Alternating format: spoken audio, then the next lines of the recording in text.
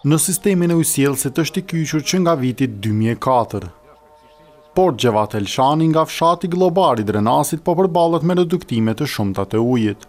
Vjen ni orë dy gjatë ditës edhe sidomos verës kem ka mundësi ka herë edhe me 3-4 ditë nuk kemi ujë të pijshëm. E zgjidhja për të dhe banorët e njëzet e dy fshatrave të Drenasit u planifikua të bëhet këtë pranverë, duke iu dhënë fund punimeve shtatëvjeçare për të shtrirë një rrjet të ri. Por kur u nis të bëhet kyçja e banorëve, komunarët u befasuan, në të mungonin gypat. E kjo e ka nervozuar kryetarin e komunës Ramiz Lladrovcin.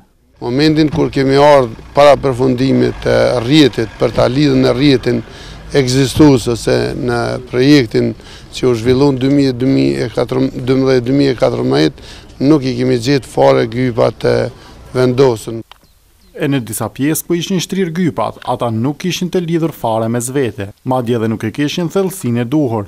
Kjo shtyri kryetarin Lladrovci që të marrë masa ndaj kompanisë punëkryese. Unë e kom formu komision edhe komisioni e ka vërtetu dhe menjëherë e kom njoftu Prokurorinë e Kosovës.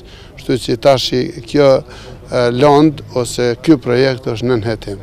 Klan Kosova ka tentuar të kontaktojë edhe kompaninë Vrellaku, e cila para pesë viteve ka kryer punimet në këtë zonë.